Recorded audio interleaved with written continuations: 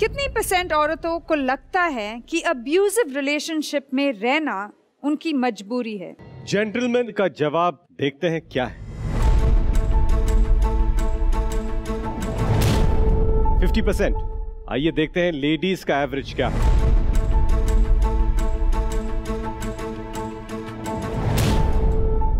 Sixty five percent तो सबसे पहले आपकी तरफ़ आते हैं। मैंने भी एक्चुअली सिक्सटी परसेंट ही लिखा था। जी।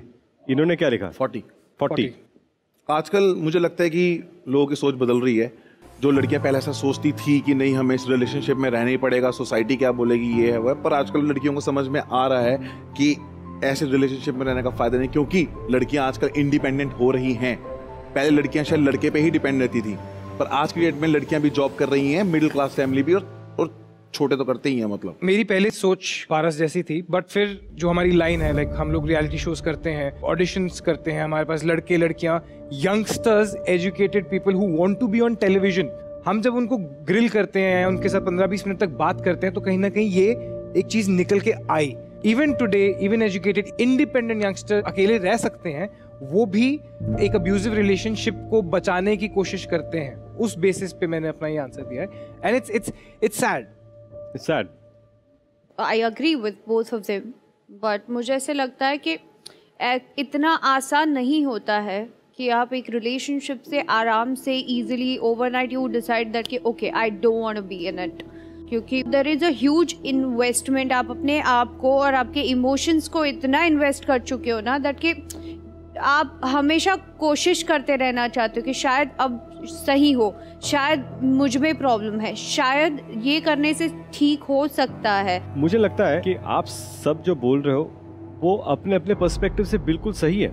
लेकिन जैसे आपने कहा शादी हो जाती बहुत सारा इन्वेस्टमेंट हो जाता है रिलेशनशिप में और आपको लगता है नहीं यार बदल जाएगा probably had a bad day probably once it becomes a habit या तब मुश्किल हो जाता है कि now there are certain things that can change हमें कुछ ऐसा करना चाहिए जिससे लोगों को ये हौसला मिले हिम्मत मिले हाँ कि you you can stand up and do not take any shit from anybody Yeah, but I would like to talk about myself. That कि I took almost seven years to take certain decision.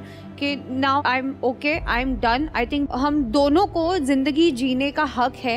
And I think seven years later, I told him I was like, I cannot love anybody, but I can't be with you.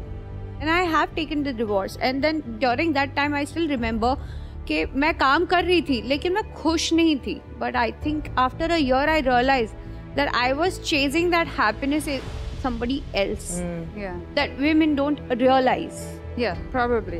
and that is the reason they are ready to suffer they're ready to take it because it's a matter of love it's a matter of your emotion and you don't want to leave your partner easily like that and i think that is not a wrong decision no no not at all I think कि ज़्यादातर for Indian women उनको लगता है कि उनके पास कोई choice नहीं है स्पेशली अगर उनकी शादी हो गई है दे अब्यूसिव रिलेशनशिप एंड उनके बच्चे भी हैं specifically for that I just want people to know कि my mother was married to an a very abusive man जो who was my father unfortunately and my mother left him जब I think I was not even one year old and for her to have done that not just for me and my sister पर अपने आप के लिए जो मेरी माँ ने करा टेक्स इमेंस स्ट्रेंथ एब्सोल्युटली तो अगर कोई औरतें ये देख रही हैं और अगर आप एक अब्यूसिव रिलेशनशिप में हैं प्लीज़ ये ना सोचिए कि आपके बच्चे ज़्यादा खुश रहेंगे अगर आपका परिवार जुड़ा रहेगा।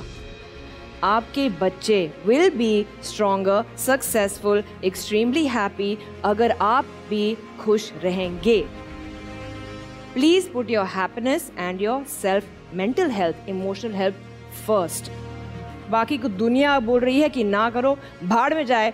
मैं आपको बोलना चाहती हूँ please do it put your foot down be free be safe be secure you do not need a man you do not need abuse Yeah, like what Baniji is saying, I think it's extremely important that we speak up and we encourage women to speak up. Whoever's in this uh, abusive relationship, as a society, we should help people, and there is help available. There are people, there are people who come out to help, I'm sure. So let's see what's India's answer.